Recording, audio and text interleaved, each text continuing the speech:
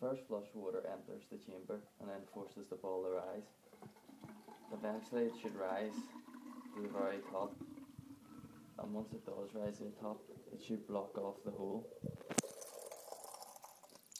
Once it blocks the water should then not be able to enter and then flow to the filter.